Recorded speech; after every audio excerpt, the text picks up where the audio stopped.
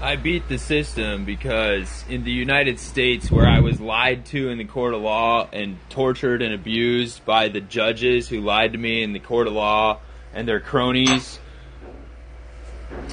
I was I did everything asked of me to get my license back, my driver's license back after 3 years. It was 7 of 3 years and they were still telling me that I needed to wait another 5. And so I was done negotiating with terrorists and I moved to Thailand so I can work with honorable people. Um, here in Thailand, there's honorable people, and in the United States, the judicial system has no honor, and they're liars. They lied to me in their own court of law. So here in Thailand, I got my driver's license within the first month of living here and being within the first week of being a resident. And once I get my business visa, then I'll have an international driver's license, which is a trump card allowing me to drive in the states that forbid me from doing so.